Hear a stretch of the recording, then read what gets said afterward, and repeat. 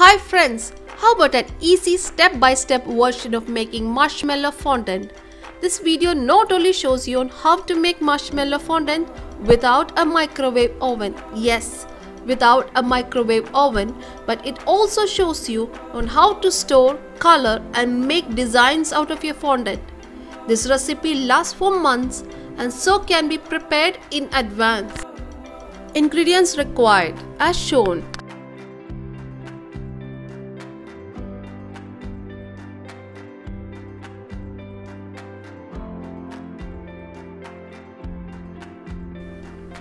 Shortening is used to stop the marshmallows from sticking to your pans and hands. So here I'm dabbing them all over my pan. Now add in your mini marshmallows.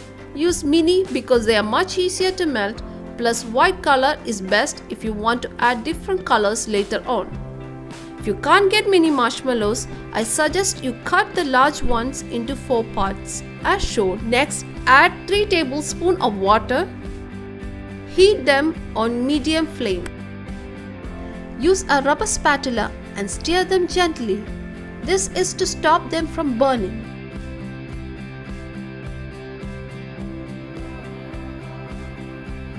Melt them until no lumps could be seen.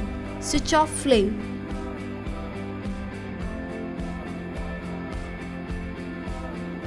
Add 3 4 of confectionery sugar first and rest as needed till you get a doughy consistency.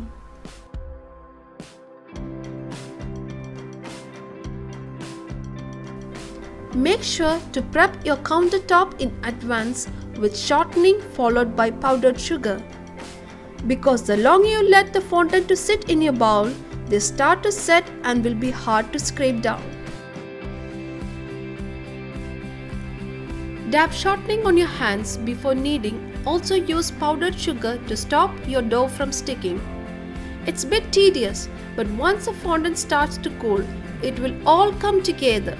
Keep kneading softly until they don't stick to your hands. I relied more on powdered sugar than on shortening.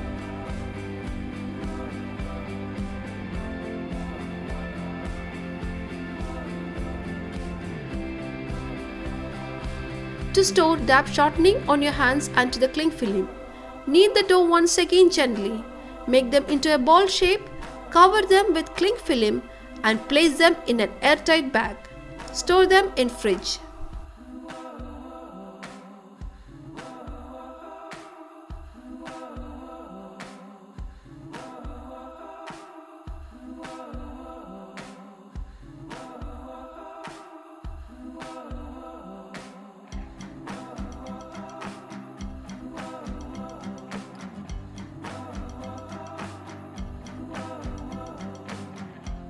Before using the fondant, keep it out an hour or so so that it can soften.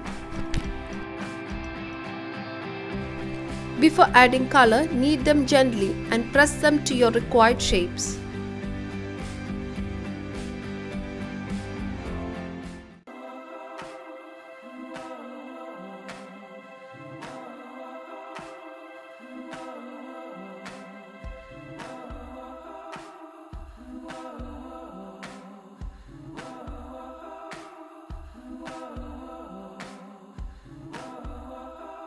I use rose gel food color on my fondant to get a baby pink color.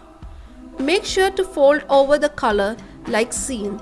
This is to stop the color from squeezing out and staining your hands. Add more color as required.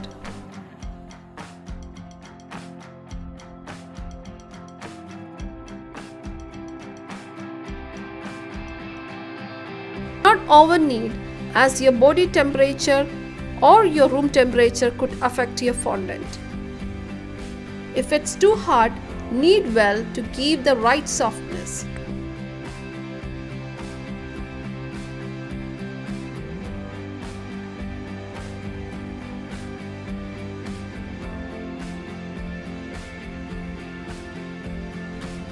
There you have your easy marshmallow fondant. Give me a feedback by commenting below so that I can answer to you. Hi! On the left side of your Windows screen, click on the logo to visit my channel. Also, don't forget to like and share my video with your friends and subscribe as it helps me to notify you about my upcoming new videos.